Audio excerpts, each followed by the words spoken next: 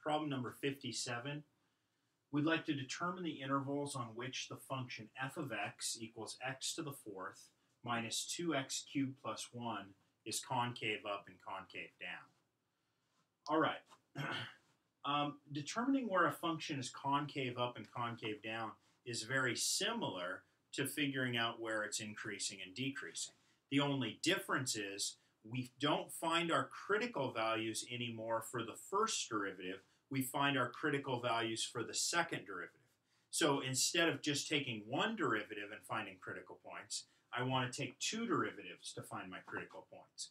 Uh, so I like to call these things second order critical values just to remind myself that they're not actually the critical points of a function because the critical points of a function are critical points for the first derivative, uh, not the second derivative. So I like to call these things something else. Let's call them second order critical values, and that's what I want to find. So to find these second order critical values to figure out where things are concave up and concave down, I need a second derivative of this function.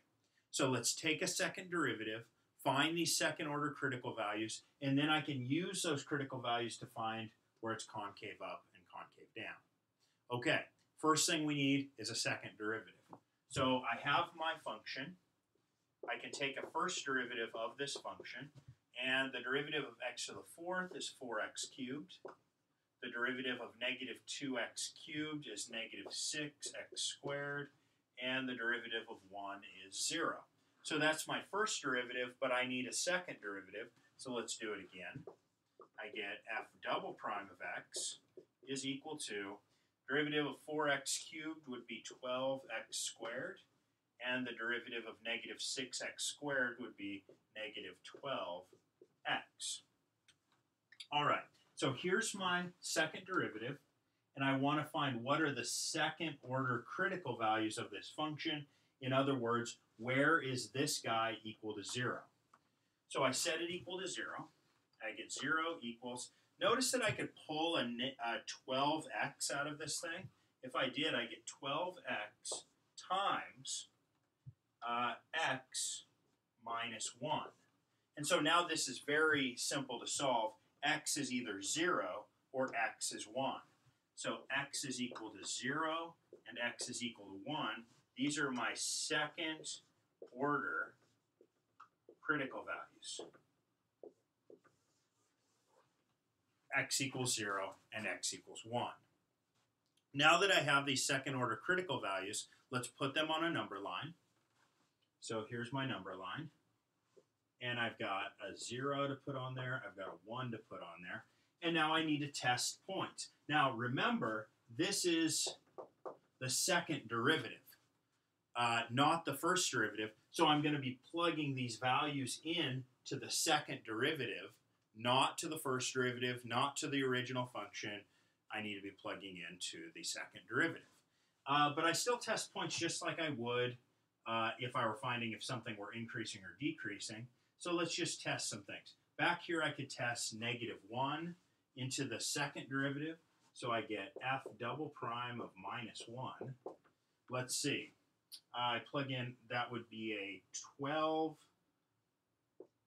times minus 1 squared minus 12 times minus 1, which is equal to, well, minus 1 squared is 1, so this is 12 plus 12 is 24, which is positive, so I put positives in here.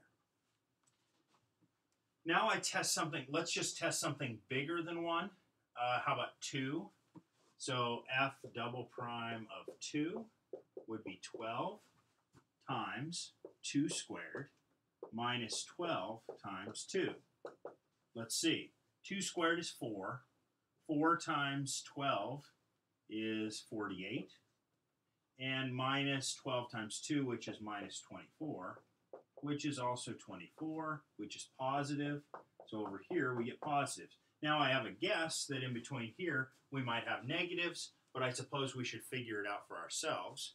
Uh, let's plug in something in between. How about a half? So f double prime of 1 half would be 12 times 1 half squared minus 12 times 1 half.